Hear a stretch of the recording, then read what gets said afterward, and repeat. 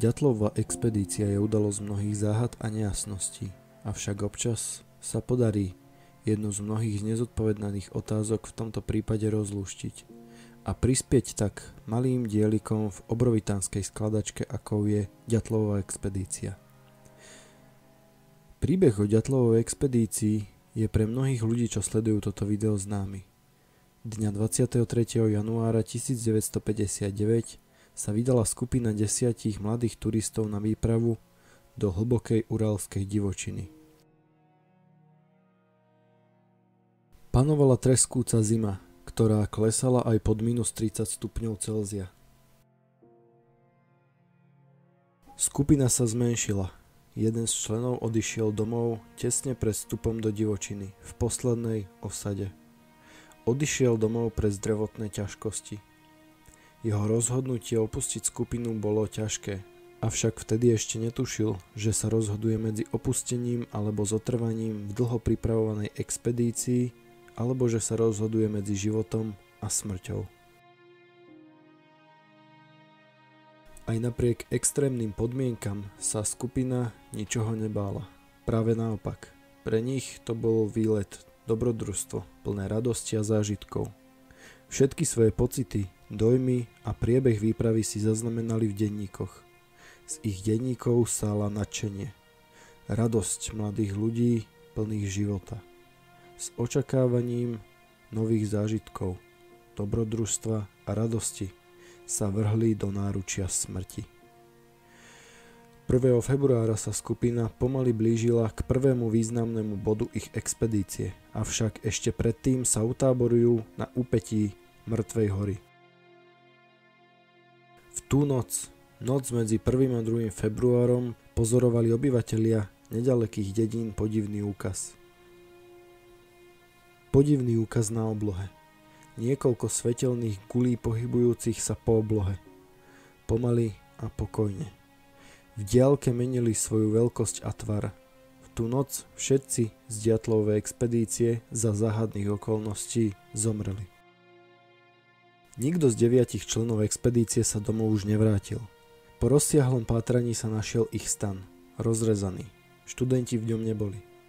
Na zasneženej planine, bičovanej vetrom, bolo jasne vidieť niekoľko párov stôp. Stopy boli však podivné. Vyzeralo to tak, že majiteľia týchto stôp boli bosí, či v ponožkách, alebo len v jednej stopánok. Pátrači sa vydali po týchto stopách – Stopy ich viedli cez pole kameňov, snehové záveje až ku okraju lesa, kde niečo nesedelo. Na veľkom strome chýba niekoľko konárov. Prvé telá sa našli pod cédrom na okraji lesa. Strom ležal viac ako 1,5 km od stanu. Ďalšie z tiel sa našli rozmiestnené na svahu, smerom k stanu. Posledné tela dali pátračom zabrať najviac. Našli sa v koríte potoka, len niekoľko desiatok metrov od cédru. Tela boli v hroznom stave. Obete mali fraktúry hrudných košov, lebiek a iné drobné poranenia. Tieto tela hľadali niekoľko mesiacov. Počas tohto hľadania sa na prípad nabelilo nesmierne množstvo nevysvetliteľných udalostí a počinov, ktoré skupina pred svojou smrťou urobila. Avšak pátrači boli svetkami ešte jednej neobvyklej udalosti. Tentokrát však nevychádzala z počinov samotných členov tragickej expedície, ale z nebies. Pátrači pozorovali podivné ohnivé gule, ktoré sa pomaly pohybovali po oblohe a mizli za Otortenom.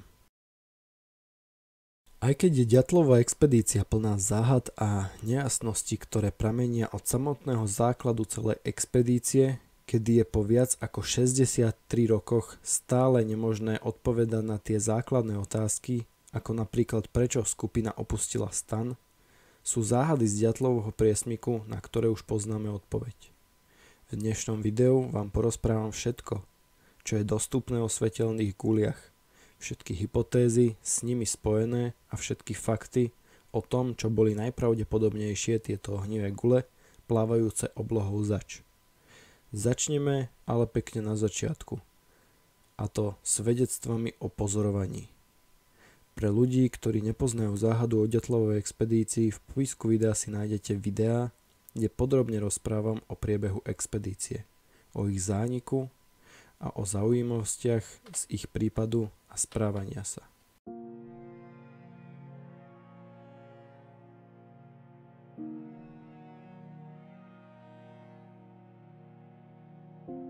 Ohnivé gule letiace po oblohe by sa zdali absurdným úkazom, ktorý si niekto domyslel, aby pridal prípadu nádych tajomna. Avšak ohnivé gule, dokonca opakujúce sa ohnivé gule letiace nad Otortenom, nie sú len nepodloženým bludom neznámeho bádateľa. Sú faktom. Boli pozorované obyvateľmi miest, ako aj vojakmi, ktorí pátrali po stratených diatlovovcoch.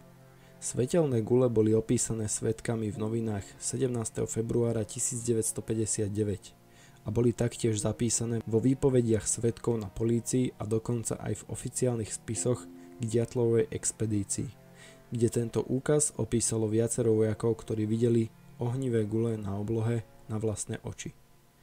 O ohnivej guli na oblohe jestuje niekoľko nezávislých písomných záznamov a svedectiev z niekoľkých zdrojov – Polícia, časopis a armáda. Čo to ale bolo? A môže to mať súvisť s Ďatlovou expedíciou? Prvé svedectvo úkazu sa objavilo v malých miestnych novinách, pre ktoré to opísal svedok. Článok v novinách znel takto. O 6. hodine a 55. minúte sa včera na juhovýchode vo výške 20 stupňov od horizontu objavila svietelkujúca gula – o veľkosti viditeľného priemeru mesiaca. Gula sa pohybovala smerom na severovýchod. Okolo 7 hodiny, 5 minút po objavení, sa vnútri gule zablesklo a bolo vidieť veľmi jasné jadro gule. Samotná gula začala svietiť intenzívnejšie a okolo gule sa objavil podivný svietiaci mrak, ktorý ju obklopil. Mrak sa rozprestieral po celej východnej časti neba. Onedlho došlo k druhému výbuchu. Mrak sa naďalej zväčšoval a uprostred svietila gula. Intenzita svietenia nebola stála. Gula pokračovala na severovýchod a najvyššej výšky dosiahla o 7 hodine a 50 minúte, takmer hodinu po objavení. A tá výška bola asi 30 stupňov vysoko od horizontu. Tento úkaz pokračoval v pohybe a slabol a bledol. Svedok si myslel, že úkaz súvisí s družicou a preto zabol príjimač, avšak ten nič nezachytil. Podivné svedectvo, ktorému na vierohodnosti dodáva samotný fakt, že sa jednalo o malú miestnu tlač. Ďalší svedok dodal výpoveď na polícii, ktorá poznamenala celé znenie svedectva v zápisnici. A svedectvo znelo takto. 17.2.1959 O 6. hodine a 50. minúte miestneho času sa na nebi objavil neobvyklý úkaz. Pohyb hviezdy s chvostom, podobajúcim sa hustému ciru. Potom sa táto hviezda oslobodila od chvosta. Stala sa jasnejšou než hviezdy a letela. Začala sa postupne akoby nafukovať a vznikla veľká gula zahalená do oparu. Medzi tým sa vo vnútri gule rozosvietila hviezda, z ktorej sa najskôr vytvoril polmesiac. Potom malá gula. Nie tak jasná. Veľká gula postupne zhasínala, až sa z nej stala rozmazaná škvrna. O 7 hodine a 5 minúte úplne zmizla. Hviezda sa pohybovala z juhu na východ. Toto svedectvo podala technička a meteorologička Tokarevova. Opäť podivné svedectvo, ktoré sa vo veľa bodoch zhoduje, avšak v úvode opisu pripomína obyčajnú kométu. Ďalšie zo svedectiev pochádza priamo od pátračov, ktorí pátrali v Ďatlovom priesmiku po posledných štyroch telách Ďatlovej expedície. Vojaci opakovane videli nad Otortenom letieť podivné ohnivé gule, ktoré nepripomínali žiadne testy rakiet a zbraní. Pozorovanie tohto úkazu znepokojilo aj ich nadriadených, ktorí poslali telegram svojim nadriadeným, kde žiadajú o vysvetlenie. Správa znela takto. Oficiálny spis 31.3.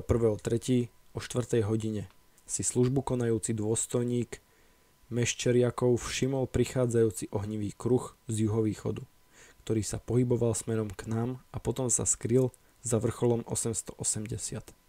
Predtým, než sa skryl za horizontom, sa zo stredu kruhu vynorila hviezda, ktorá sa postupne zväčšovala do rozmerov mesiaca a začala padať dole, oddelujúca od kruhu. Neobyčajný jav pozoroval celý personál, mobilizovaný na poplach.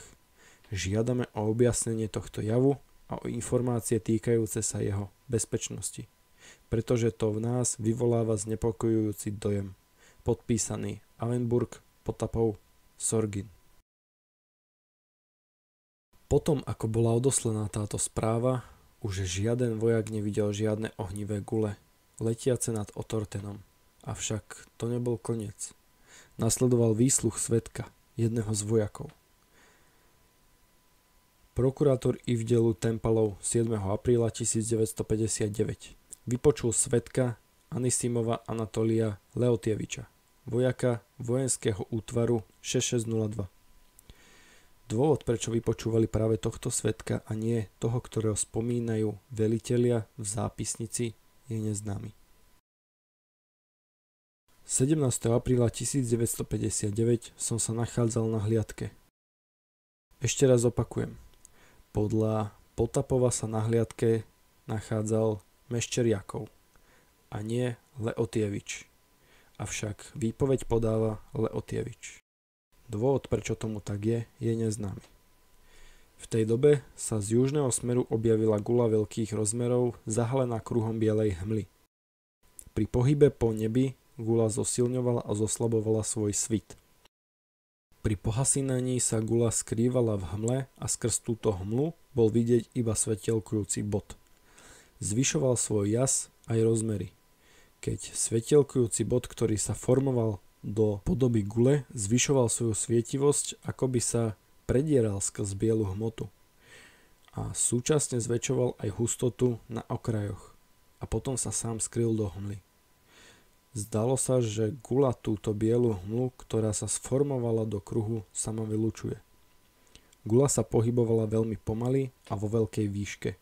Viditeľná bola približne 10 minút a potom zmizla severným smerom, ako by sa v diaľke rozpustila. Jeden z vojakov, ktorý priamo pozoroval tento úkaz, podal neraz rozhovory, avšak až po páde komunizmu. V jeho rozhovoroch zdôrazňuje to posledné, čo mu velitelia nakázali, keď sa skončila misia v Diatlovom priesmiku.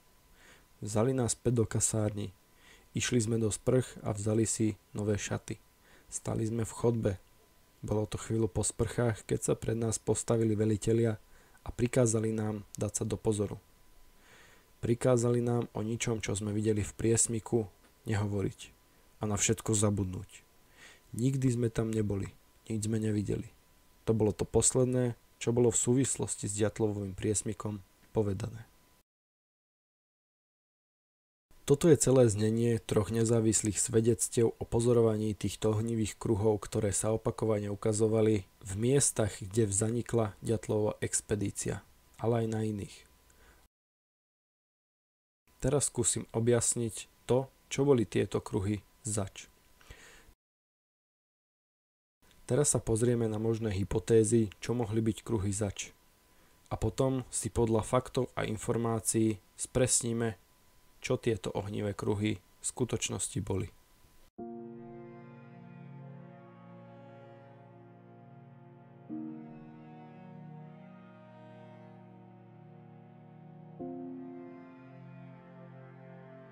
Každý zaujímavý a neobjasnený úkaz v histórii ľudstva si vyslúžil samozrejme obrovské množstvo pozornosti a vznikol celý rad možností, čo ho mohlo spôsobiť. A mnohým to nedá pokoja ani dnes. Takou udalosťou je aj Ďatlová expedícia, ktorá je však zaujímavá tým, že samotný zánik nie je jedinou záhadou. Táto expedícia priniesla celý rad nevysvetliteľných okolností ako napríklad ohnivé kruhy – na túto tému vzniklo nesmierne množstvo hypotéz. Čo by tak mohli byť tieto záhadné kruhy? Úkaza hypotézy sa ich autorovia samozrejme snažili prepliesť so smrťou ďatlovej expedície. Asi tou najčastejšou hypotézou je test rakiet, či už vojenských alebo vesmírnych nosných rakiet. Ďalšie hovoria o družici, sodíkových meteorologických balónoch, ktoré vypúšťali samotní ďatlovovci, o meteorite, kométe, či dokonca, že záhadný objekt bol UFO, mimozemská loď riadená mimozemskou posádkou. Teraz vám predstavím tieto hypotézy bližšie a pôjdem od tých najbizarnejších, ktoré si prejdeme stručne, až po tie najpresvedčivejšie, ktoré sú oprené o dôkazy. Asi tou najbizarnejšou aj keď mnohí zrejme nebudú súhlasiť, je samozrejme UFO.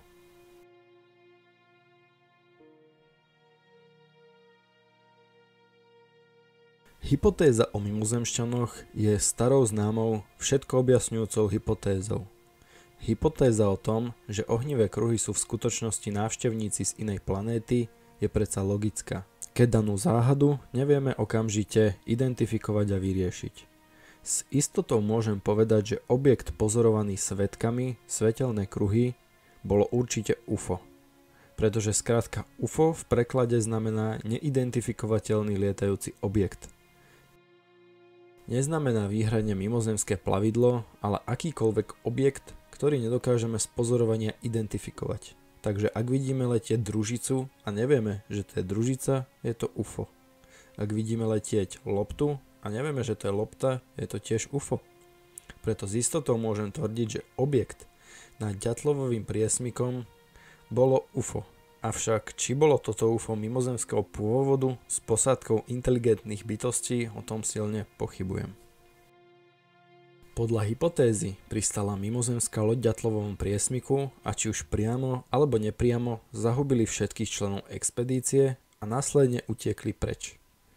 Autorovia tejto hypotézy, ktorých je skutočne veľa, sa často snažia priradiť každú záhadu tejto expedície ako príčinu a vôľu mimozemšťanov. Či už je to chýbajúci jazyk, zlámané kosti alebo opustenie stanu. Žiaľ, UFO by sa dalo použiť pri každej historickej záhade. Ak niečo nedokážeme vysvetliť, muselo to spáchať niečo nadprirodzené a každý jeden detail si obhájime tým, že presne takto to mimozemšťania chceli. A presne takto to urobili. A dokonale to sedí. No, žiaľ, nesedí. Nemáme žiadne dôkazy, že by to tak chceli a urobili. Bez dôkazov to je len obyčajné, vymyslené tvrdenie. Pre UFO nemáme ani jeden jediný dôkaz, ani náznak. A tak môžeme tento počín pripísať komukoľvek, aj trebárs takému trpaslíkovi, obrovi, škriatkovi, čarodejníkovi alebo treba sériovému vrahovi. Ja môžem tvrdiť, že to urobil on.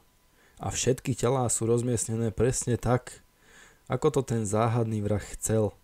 A bol by som ešte bližšie k pravde, ako pri hypotéze s mimozemšťanmi, pretože o sériových vrahoch aspoň vieme, že existujú.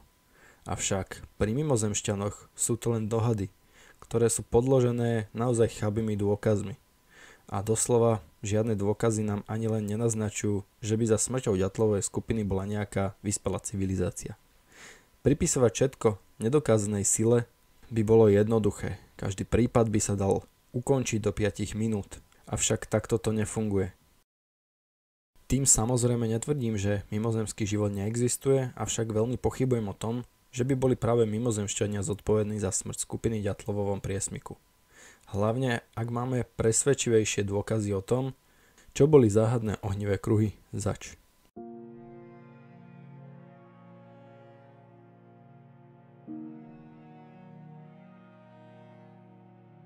Z popisov a svedectiev, ktoré nám boli poskytnuté pozorovateľmi tohto úkazu, by mohlo niekoho napadnúť, že za záhadou sa skrýva oveľa menej. A že to bol obyčajný prírodný úkaz. Kométa či meteor – avšak pri tých podrobných opisoch, konkrétne v ich detailoch ako para okolo objektu, zmenšujúca sa a zväčšujúca sa gula, môžeme vidieť, že povaha záhadného objektu sa nepodobá na žiadny známy druh dopadu meteoru, kométy či iný známy atmosférický úkaz.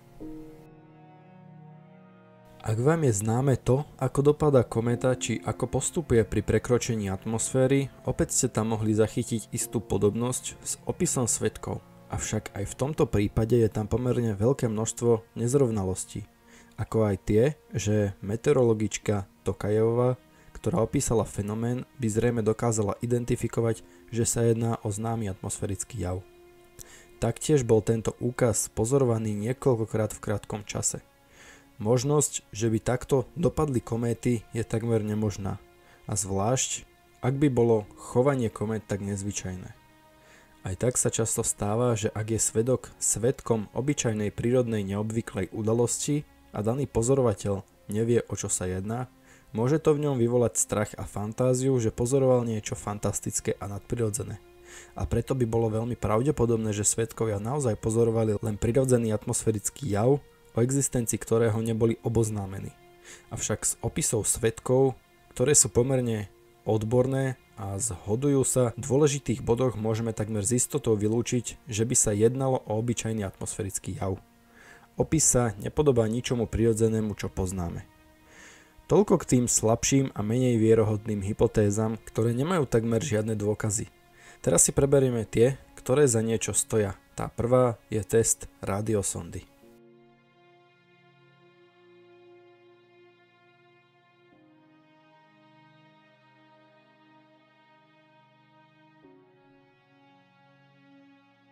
Radiosonda. Túto hypotézu vypracoval Vladimír Nagajev, bývalý zamestnanec KGB, vedúci fakulty vojenskej lekárskej inštitúcie vydal v roku 2018 publikáciu, v ktorej rekonštruuje túto hypotézu, ktorá údajne stojí za smrťou skupiny ďatlov. Autor sa snaží prepájať detaily, čo je často kľúčové. Podľa autora bola skupina ďatlov skutočne trochu iná než bežná skupina turistov. Vyzdvihuje ich nevšedné skúsenosti a životy, ktorým umožnili zúčastniť sa na experimente národnej úrovne, ktorý bol prísne tajný. Skupina mala ešte jednu misiu, okrem samotnej expedície. A to vypúšťať špeciálne rádiové sondy. Dávalo by to predsa zmysel, niektorí vrátane Ďatlova predsa študovali radiotechniku. Zolotáriou tam bol ako dozor experimentu, starší agent KGB, ktorý dohliadal na utajenie experimentu. Rádiové sondy boli balóny s chloroprénovým plášťom, pod ktorým sa nachádzal plyn s krátkodobými radioaktívnymi izotopmi, napríklad 5-sírový fosfor. V jeden deň si skupina zašla zlým smerom a potom sa vrátili späť na trasu. Vyšetrovatelia sa domnievali, že sa skupina pokúsila vydať iným smerom, pretože si chceli skrátiť trasu. Avšak ich plán zlyhal a tak sa vrátili späť, aby pokračovali podľa predom naplánovanej trasy. Podľa autora hypotézy to nebolo zlé rozhodnutie, o trase, ale plán, aby sa dostali na predom určené miesto, kde vypustili prvý balón. Druhé vypustenie malo prísť na vrchole hory Cholaciakl. Večer pred spaním si skupina zrejme pripravovala všetko potrebné vrátane samotného balóna, avšak vyliali alebo bol pretrhnutý obsah späť sírovým fosforom. To zapríčinilo únik zo stanu, pri ktorom si účastníci nebrali žiadne oblečenie, ktoré bolo kontaminované radioaktívnym obsahom. Pátranie po nezvestnej skupine bolo zámerne odložené. Prvé tela skupiny ďatlov boli objavené takmer mesiac po ich smrti. Toto obdobie zodpovedá dvom polčasom rozpadu radioaktívneho izotopu fosfor 32. A teda nájdenie tel bolo na deň presne naplánované aby tela už neboli kontaminované radioaktívnym materiálom. V prospech tejto teórie je podľa mnohých svetkov koža mŕtvého tmavo-hnedej farby, ktorá je charakteristická pre otravu fosforom. Ďalšie vedľajšie účinky otravy konkrétnymi látkami môžu byť edem plúc, zväčšené srdcové komory, zavodnené orgány, tekutá tmavá krv. Aj tieto vedľajšie účinky boli pozorované na telách podľa pitevných správ avšak bola im pripísaná iná súvislosť. Pri nájdení členov expedície boli už radioaktívne prvky rozpadnuté a jediné, čo sa dalo pozorovať na telách, boli tieto vedľajšie príznaky. Za pripomienku taktiež stojí fakt, že Ďatlov mal u seba vo vrecku dvoje liekov, ktoré sa odporúčali pri styku s radioaktívnym materiálom a taktiež piloti vrtulníka odmietli vziať tela turistov na palubu a Černišev, vedúci pátracej skupiny, musel pohroziť pilotom zbraňou. O tomto incidente existuje aj telegram, ktorý vedúci pátrania zaslal vedeniu. V telegrame sa sťažuje na neposlušnosť posádky vrtulníka a odmietnutie rozkazu. Naložiť a odviesť tela po tom, čo ich sami vylovili z potoka a na pleciach preniesli až k miestu vyzdvihnutia. Piloti povedali, že tela zoberú iba v zinkových rakvách, ktoré slúžia na pochovávanie tiel, ktoré v sebe majú radioaktívne látky. Ono neuposluchnutie rozkazu v tej dobe v komunizme a hlavne od vojakov je niečo naozaj výnimočné. A vojaci na to museli mať sakra dobrý dôvod. Sama o sebe je to veľmi kvalitná hypotéza, ku ktorej vedie niekoľko drobných nepriamých dôkazov. Hypotéze sa budem venovať zvlášť vo videu o hypotézach, avšak vráťme sa ku svetelným kruhom, pre ktoré táto hypotéza nie je až tak priaznivá. Aj keď je to zaujímavá hypotéza, nevysvetľuje svetelné kruhy. Radiosonda netvorí plynový opár a určite nevystúpa do výšky, ako opisovali svetkovia. Taktiež tak nežiari. Podstatou radiosondy je byť nenápadná, avšak svetelné kruhy boli naozaj veľmi zretelné. Museli to byť veľmi zretelne viditeľné. Museli to byť pomerne veľké letiace objekty, ktoré poháňalo veľké množstvo energie. To nás privádza k prvej solidnej možnosti. Testy rakiet.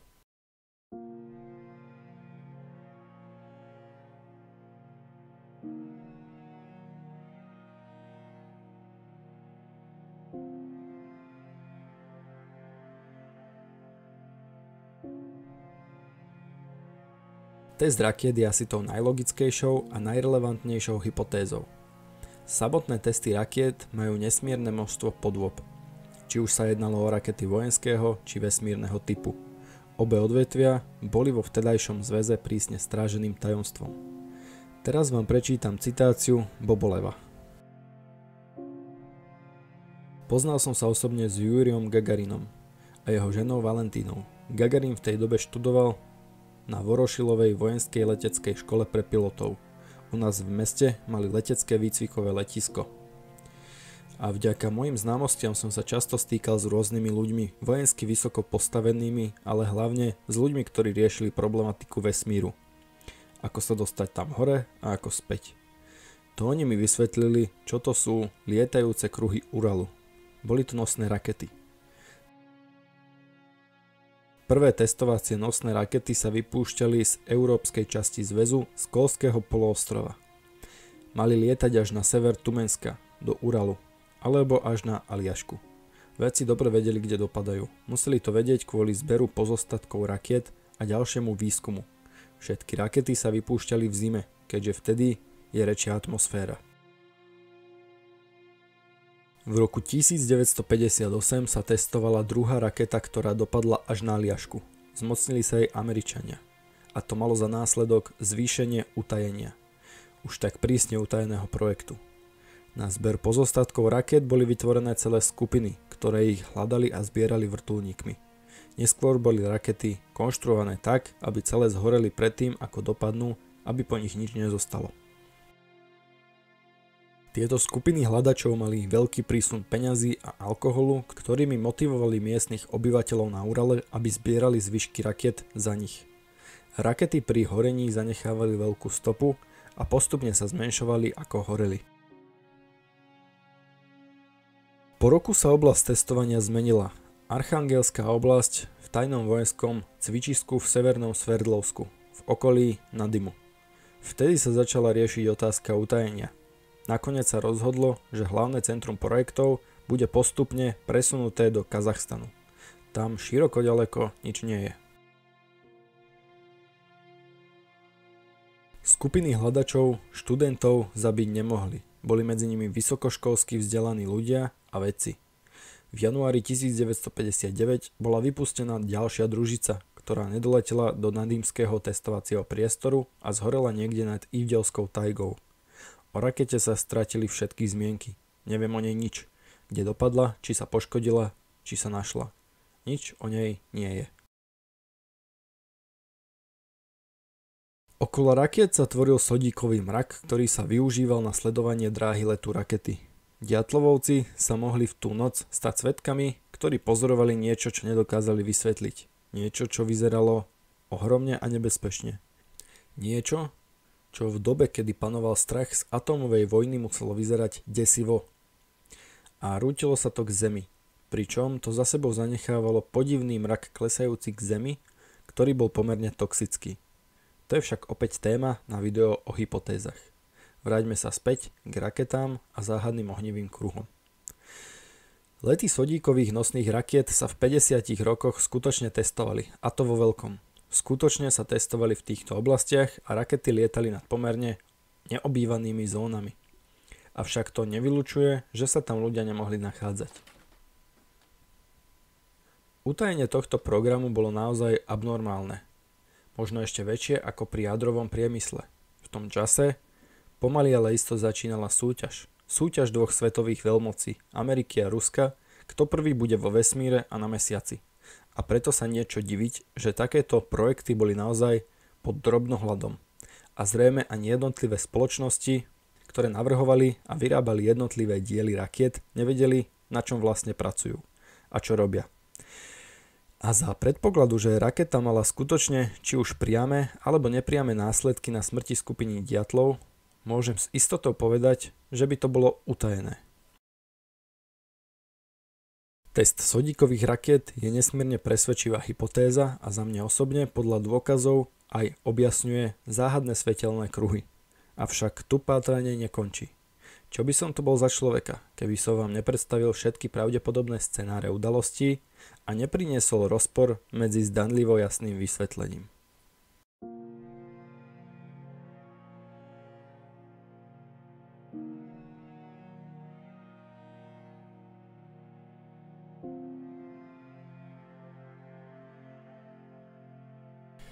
Ďalšia veľmi zaujímavá hypotéza, ktorá je rovnocenným súperom predošlej, hypotéza, ktorá prezentuje testy vojenskej techniky.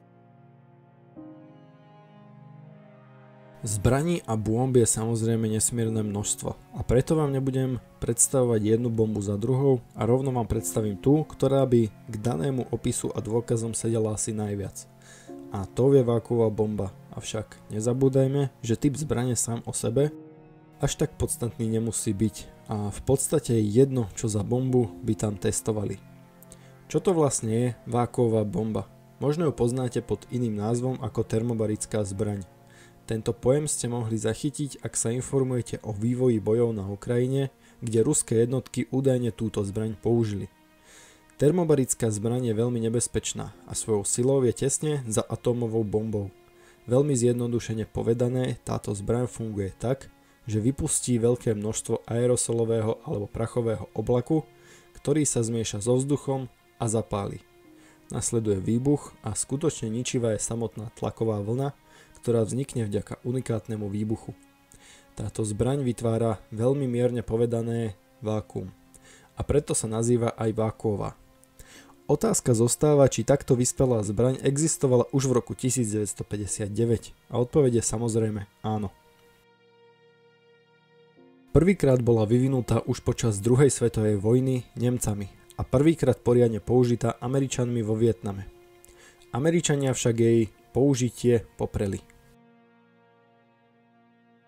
Hlavným argumentom pre túto hypotézu je to, že pokožka niektorých účastníkov by zodpovedala zraneniam po výbuchu takejto bomby. Taktiež by to zodpovedalo niekoľkým iným zraneniam. Mňa osobne takáto chaba obhajoba nepresvedčila. Zranenie ako zranenie. Pripísať sa dá kadečomu. Avšak má to aj iné, oveľa presvedčivejšie dôkazy. Bomby, bomby a zas bomby. Toto slovo a hypotézy okolo nich sprevádzajú záhadu o skaze Diatlovej expedície, tak povediac od začiatku. Hypotézy o nevydarenom teste a odklone rakety, ktorá viedla až k skáze skupiny. Avšak doteraz o tom jestvovali len chabé dôkazy a dohady. Občas nejaké to svedectvo pátrača, ktorý tvrdil, že videl nejaké kruhy v blízkosti priesmiku a to bolo celé. Avšak v roku 2008 poskytol jeden pán Zivdelu rozhovor, ktorý je poriadne zaujímavý.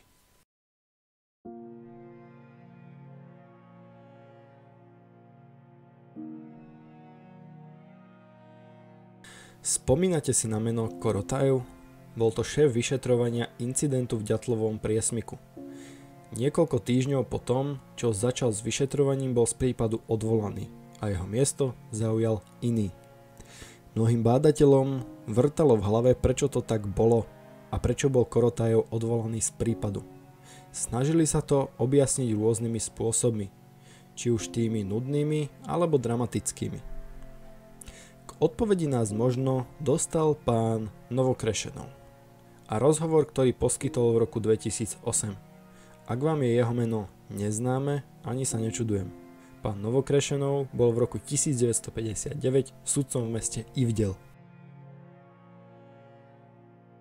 Novokrešenov poznal Korotajeva. Často sa spolu údajne stretávali vo vlaku, keď Korotajev chodieval do svojej záhrady. A často sa vo vlaku rozprávali. A aj o prípade v Ďatlovom priesmiku. Novokrešenov si spomína, že o udalosti v Ďatlovom priesmiku sa rozprávali o 10 rokov neskôr po incidente, kedy Korotajov spomínal na svoj pobyt v priesmiku, kde strávil 3 dni. Korotajov mu povedal, že pátranie bolo veľmi vážne, až príliš vážne. Boli použité lietadla a vrtulníky a stan našli z vrtulníku. Kusy stanu vraj viali vo vetre, keď dorazili na miesto, rozteli sneh, ktorý bol na vrchu stanu sekerov a poriadne ho tak poškodili. Tu nastáva prvá nezhoda, kedy Korotajov tvrdil, že stan bol nájdený z vrtulníku, avšak oficiálne spisy tvrdia, že stan našla skupina pozostávajúca zo študentov a našli ho za pochodu. Avšak, keď sa nad tým logicky zamyslíte, čo ale tí študenti robili na úbočí Mŕtvej hory? Teraz sa tá diel predsa neviedla. Taktiež nemáme žiadne fotky čerstvo nájdeného stanu. Korotajú sa účastnil aj na obhliadke stanu, pri ktorej si všimli, že stan nebol len rozrezaný, ale časť z neho chýbala, ako by ju vytrhli. Korotajú zdôraznil, že stan bol postavený na desiatich lyžiach a účastníkov bolo len 9. Desiatý sa vrátil domov pre chorobu. Novokrešenov vyslovil zaujímavý dohad. Podľa Mansiou mali ženy zakázané vstúpiť na túto horu. A dlho si myslel, že preto Mansiovia napadli skupinu kvôli dvom ženám v skupine. Ďalej rozprával o tom, že poznal aj Kurikova. A pýtal sa ho na prípad, avšak on povedal, že o tom nemôže hovoriť. Nikdy mu nič o prípade nepovedal. Kurikovova paranoja zo Sovietskeho zväzu pretrvala až do jeho smrti. A teraz prichádzajú naše svetelné kruhy. Citujem Novokrešenova. Korotajo sa na mňa pozrel a povedal mi. No vieš, my sme si podali žiadosť na meteorologický ústav a odtiaľ nám povedali, že v tú noc bol videný nejaký objekt. Svetelný kruh, ktorý sa zväčšoval a zmenšoval. Tempalov, ktorý bol tiež prítomný pri obhliadke stanu, letel nad oblasťou v helikoptére a povedal, že všade navôkol sú krátery. On to spozna. Bol veliteľom delostreleckej brigády. Vie rozoznať kráter od dopadu bomby na prvý pohľad. Tempalov povedal, sú to krátery, viem to. Ďalej dodáva, že to bolo niekoľko dní po zmiznutí Diatlovovcov. Tempalov sám povedal, že sú to určite krátery. Novinár upozornil Novokrešenova, že nikde sa o tom nepíše a nie sú o tom žiadne dokumenty. Novokrešenov povedal, že samozrejme, že o tom žiadne dokumenty nie sú. Nemohol o tom ani len rozprávať, nie to ešte tvoriť dokumentáciu. Ďalej Novokrešenov rozprával o tom, že do tejto oblasti chodieval často na ryby, aj s mansiami. A občas stretol ľudí, o ktorých vedel, že sú to vojaci. Majú tam nejakú úlohu. Údajne sa opýtali, že čo chytil za rybu. Nepoznali tú rybu a každý, kto sa nachádzal v tak odlahej časti Uralu, je buď lovec alebo rybár. Alebo turista. A oni neboli ani jedno. Niektorí boli občas oblečení v uniformách a teda v okolí museli prebiehať nejaké testy. Novokrešenov nie je prvý domáci obyvateľ, ktorý opakovane hovoril o vojakoch uprostred Uralskej tajgy, kde nemali čo hľadať. Bol to nezmysel. Na kilometre len lesy a divočina a odrazu vojaci. Možno to boli tí pátrači, ktorí pátrali po úlomkoch nosnej rakety A možno to boli vojaci s úplne inou misiou. Novokrešenov povedal ešte jednu zaujímavú úvahu. Juri Udin, keď prišli Ďatlovovci do Ivdelu, prihlásili sa ako turisti. Bolo to potrebné, aby sa o nich vedelo. Judin odišiel v poslednej osade, druhá severná. Avšak, keď odchádzal z Ivdelu, sa neodhlásil. Nikto o ňom nevedel. Vlastne nikto moc nerozpráva, ani nerozprával o Judinovi počas toho, ako si rodiny a škola myslela, že sú všetci na expedícii. K tomu sa za svoj život nevyjadril ani Judin, čo robil, kde bol v tie dni. Novokrešen opäť spomenul 10 párov lyží. Rozhovor ukončil s tým, že prípad musela veľmi rýchlo prebrať KGB a prinútiť všetkých podpísať slub mlčanlivosti, ktorý je z viacerých svedectiev a správania sa očividný. Len pripomínam, že spisy niesli dlhé roky nálepku prísne tajné. Každý, kto sa zúčastnil pátrania, musel mlčať o tom, čo videl a počul. A v prípade je zjavne niekoľko odobraných a niekoľko doplnených dôkazov a informácií. To je koniec rozhovoru s týmto pánom. Nie je prvý ani posledný, kto rozpráva podobné veci. Pomaly sa cez strach z komunizmu a prísľub mlčania predrali výpovede, ktoré rozprávajú o tom, že v priesmiku sa skutočne mohlo stať niečo viac ako len nehoda pri turistike. Korotajú svedectva pátračov, Novokrešen či taký Patrušev. Všetci poukazujú na jednu vec – bombu či raketu, ktorá dopadla priamo na miesto, kde nocovala skupina, či do jej blízkosti. O dôkazoch a výpovediach sa budeme baviť v samostatnom videu. Vraťme sa k ohnivým kruhom a raketám či bombám. Popis toho, ako sa správali ohnivé kruhy a známe rakety moc nesedí. Nepoznáme takmer žiadnu známu zbraň, ktorá by sa chovala podobne. Najbližšie sedí už spomínaná váková bomba – avšak to len ťažko opisovať z popisu a hlavne nevieme, čo sa mohlo v týchto rokoch testovať na Urale. Podivný opakujúci sa ohnivý kruh mohla byť zbraň alebo aj nosná raketa. V tomto prípade nás dôkazy jasne vedú k tomu, že sa jednalo skôr o nosné sodíkové rakety ako o nejaký druh bomby či výbušnej rakety. Krátery neboli nikde obsiahnuté ani viditeľné. Jediný dôkaz je tento rozhovor a ďalšie nepriame svedectva. Nezabúdajme však na to, že kráter by mohol byť zaviatý snehom. To je ďalší dôvod na to, prečo bol stan nájdený až po mesiaci. Niekto by mohol namietať, že stopy boli viditeľné a krátery by boli zaviate? Áno, presne tak. Kráter nemá vlastnosti stopy. Stopa je utlačený sneh, ktorý zamrzne a vznikne tak perfektne zakonzervovaná stopa. Avšak kráter je diera, ktorej sa veľmi ľahko a rýchlo zachytí sneh. Navyše, ak po ňom nikto nepátra a nikto ho v okolí nehľadá.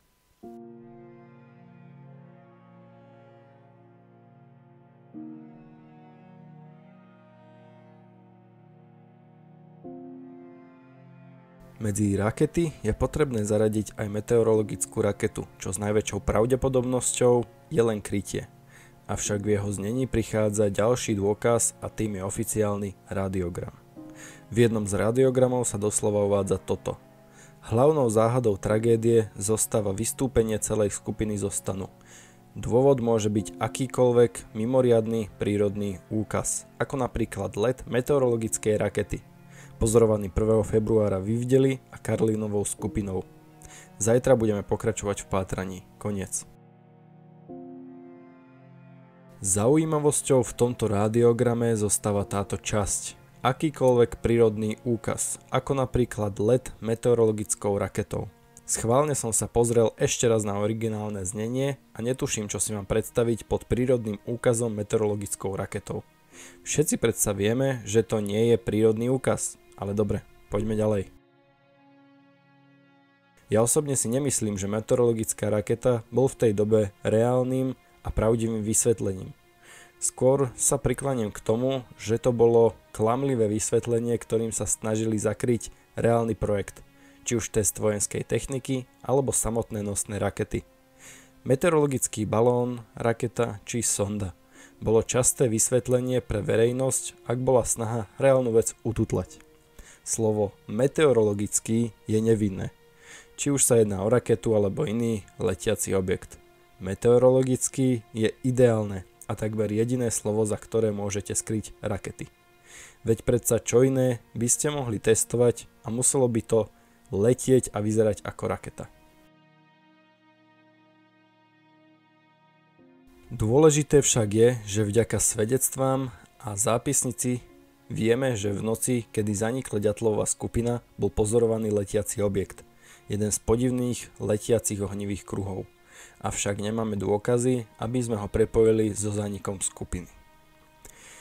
Gizilov Genady Ivanovič bol jedným z najzanietenejších ľudí, ktorí verili práve hypotéze, že za zánik skupiny môžu tajné raketové testy Dostal sa k rozhovorom s vedcami a výskumníkmi v tej dobe, ktorí neraz naznačili, že nedaleko miesta zániku sa nachádzalo tajné vojenské cvičisko na odpalovanie rakiet pod prísnou kontrolou a utajením. Toto všetko poskytli vedci ešte v čase, kedy vládol komunizmus. Podľa Gizilovičových slov to tvrdili aj miestni obyvatelia, avšak v dnešnej dobe sú už všetci, ktorí to mohli dosvedčiť či dokázať, dávno mŕtvi.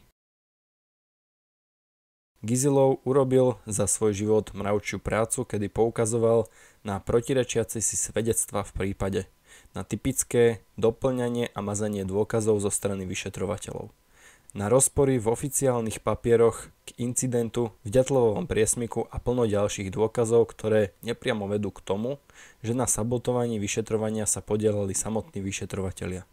Ako hlavný dôvod sabotovania určil Gizilov test rakiet, ktorý nevyšiel.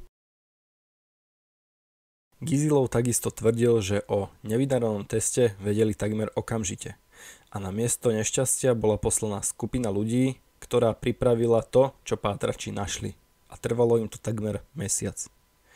Gizilov tvrdil, že všetko dostupné o tom, že za to môžu testy rakiet je z istotou už dávno zničené, či do dnešných čias neprístupné. Každý jeden záznam či dôkaz. A preto je jedinou cestou pátrať a hľadať dôkazy priamo v Uralskej tajge, v okolí Ďatlovho priesmiku.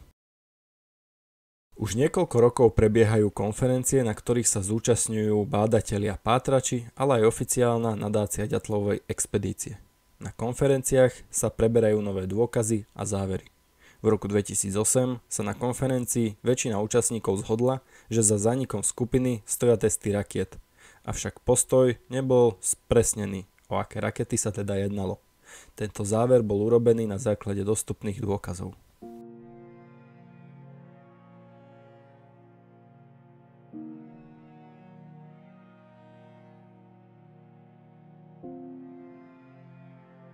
Teraz vám prednesiem fakty o radioaktívnom oblečení, niečo na zamyslenie. Aby ste si nemysleli, že to, prečo bolo oblečenie radioaktívne, je už dávno vyriešené a že to nie je žiadna záhada. Veľa z vás, ktorí sa zaujímajú o ďatlovú expedíciu, vedia, že niektoré kusy oblečenia členov expedície boli radioaktívne. Vykazovali malé množstvo žiarenia. Väčšina z vás pozná číslo 9900 rozpadov za minútu, čo bol sveter, ktorý mal najväčšie množstvo žiarenia. Na základe tohto poznania vzniklo veľa vysvetlení, že je to prirodzené množstvo žiarenia, alebo že žiarenie si priniesol kolevatov a Kryoniščenko so sebou, pretože pracovali v oblasti, kde sa mohli kontaminovať. Mnohí však nevedia, že v skutočnosti bolo množstvo žiarenia vyššie ako len 9900 jednotiek. Skúmané boli troje kusy oblečenia. Hnedý sveter, ktorému namerali 9900 rozpadov za minútu na 150 cm štvorcových. Nohavice, ktorým namerali 5000 rozpadov a opasok, ktorému namerali 5600 rozpadov. Objavené boli len beta častice, alfa ani gamma častice neboli nájdené. To nám vylúčuje pomerne veľké množstvo látok a spôsobov, akými sa mohli kontaminovať. Ušetrím vás zložitého vysvetľovania. Jediné, čo je potrebné vedieť, je, že viac ako 5000 rozpadov za minútu na ploche 150 cm štvorcových je neprirodzene vysoké – a ako povedal samotný vyšetrovateľ, nie je možné, aby bolo oblečenie ožiarené do takejto miery bez cudzieho zavinenia. Maximálna dávka by mala byť 5000 rozpadov, takže by sme si mohli povedať, že všetko je v poriadku. A jedine sveter sa nám mierne vymyká. No to žiaľ nie je pravda. Tu sa to všetko komplikuje. Nastalo preplachovanie tohto oblečenia a zistilo sa, že preplachovanie po dobu 3 hodín v studenej vode znížilo pomer rozpadov o 30 až 40% Takže namiesto 5000 rozpadov tam bolo už len 2800 rozpadov. Tak a teraz to príde. Oblečenie bolo pred testovaním na radioaktívny spad preplachované 15 dní. Áno, počujete správne. Oblečenie, pri ktorom sa preplachovaním za 3 hodiny znížil počet rozpadov takmer o polovicu, bolo preplachované pred testami 15 dní. Číslo rozpadov za minútu muselo byť desivé a dnes sa môžeme len domnievať, ako moc muselo byť vysoké. Avšak muselo abnormálne prevyšovať normu. Vysoko abnormálne. Takže číslo najviac radioaktívneho kusu oblečenia nie len, že nebolo takmer 10 tisíc rozpadov za minútu, čo je dvojnásobok normy, čo samo o sebe prevyšuje normu, ale bolo mnoho, mnohonásobne vyššie v čase objavenia. Podotýkam, že toto je fakt, ktorý si môžete dohľadať v oficiálnych zložkách a vyšetrovatelia tam otázku, aká bola skutočná hodnota žiarenia, riešia len veľmi stroho. Taktiež zostáva záhadou, prečo tak dlho preplachovali oblečenie. 15 dní je naozaj nezvyčajné. Je možné, že o žiarení sa vedelo a preto sa preplachovalo a po 15 dňoch už zrejme nepočítali s žiadnymi rozpadmi. Avšak predsa len sa našli, no utajiť to už nestihli. Oblečenie muselo byť teda ožiarené a to pomerne poriadne. A na to, ako sa to stalo, existuje niekoľko možností a niektoré z nich ako napríklad rádiové sondy či sodíková raketa, by na to sedeli. Avšak to je téma na iné video. Týmto faktom som chcel zdôrazniť, či fakticky prispieť dôkazom k tomu, že členovia boli vystavení buď to vesmírnemu radioaktívnemu spadu, alebo inému radioaktívnemu spadu, či už z látky v sondách, alebo pri testoch špeciálnych zbraní. A možno, možno to bol naozaj len vedľajší produkt, ktorý si na oblečení odniesli dvaja členovia z práce. Avšak pri takej miery by sa o tom dalo pochybovať. A prečo? Nezabudnime na to najpodstatnejšie. Oblečenie, ktoré bolo testované, bolo z obetí, ktoré sa našli najneskôr. Z tiel, ktoré ležali celé mesiace v potoku. Ak sa vám zdalo 15 dní preplachovania veľa, pripočítajte k ním mesiace v potoku.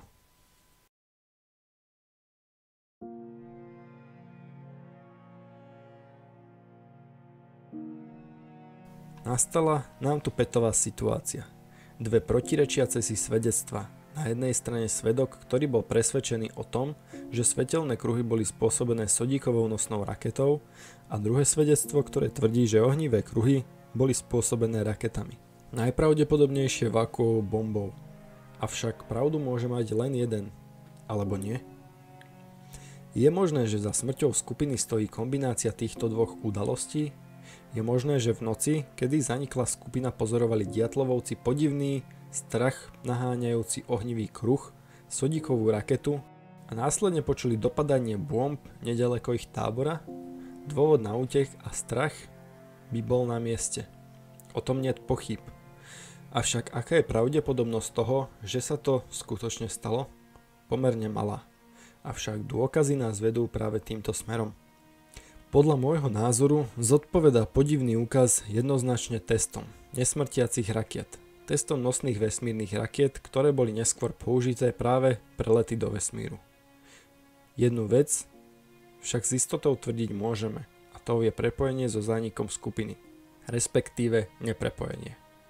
Ak by sa v osudnú noc stali diatlovovci svetkami tejto show a videli by tak, ako mnohí svetkovia svetelné kruhy, len silne pochybujem o tom, že by to spôsobilo paniku, strach a zmetok. V takom rozsahu, že by sa skupina vydala na útek.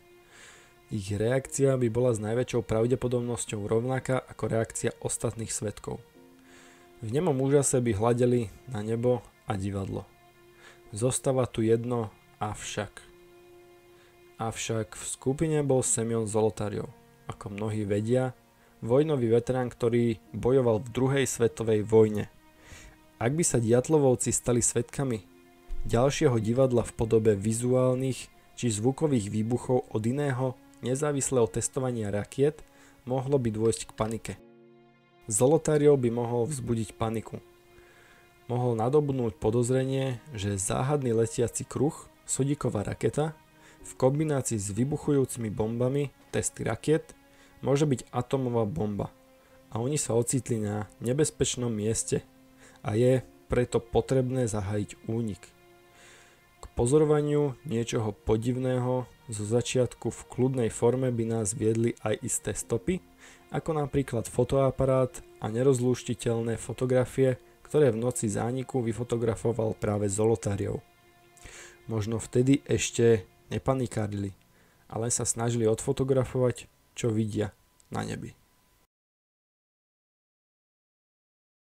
Na to, aby sme dokázali prepojiť tieto dve udalosti, by sme však potrebovali oveľa viac dôkazov, a to predovšetkým písomných. A preto to prezatiaľ zostáva iba dohadom a hypotézou, a to pomerne nepravdepodobnou. Avšak aj tak zostáva desivé stred dvoch štátnych záujmov, vesmírneho programu a vojenskej sily. Obe mali podliehať najprísnejšiemu utajeniu a obe sa podielali na zániku skupiny.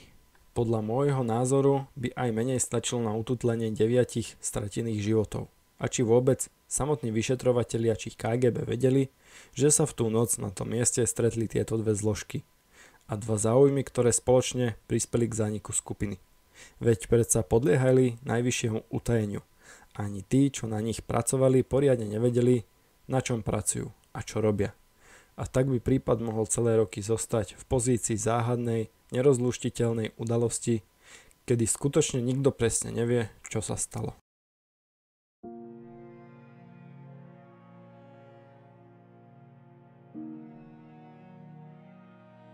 Ural a Ivdel navštívilo mnoho bádateľov a turistov, a to aj mimo súvislosti so zánikom expedície. Miestni obyvatelia často spomínali podivné úkazy, a legendy, ktoré obklepujú toto miesto. Podivné hučanie vlaku v podzemí, krátery, ktoré boli zapečatené betónom a podivné stretnutia miestnych lovcov s vojakmi uprostred tajgy.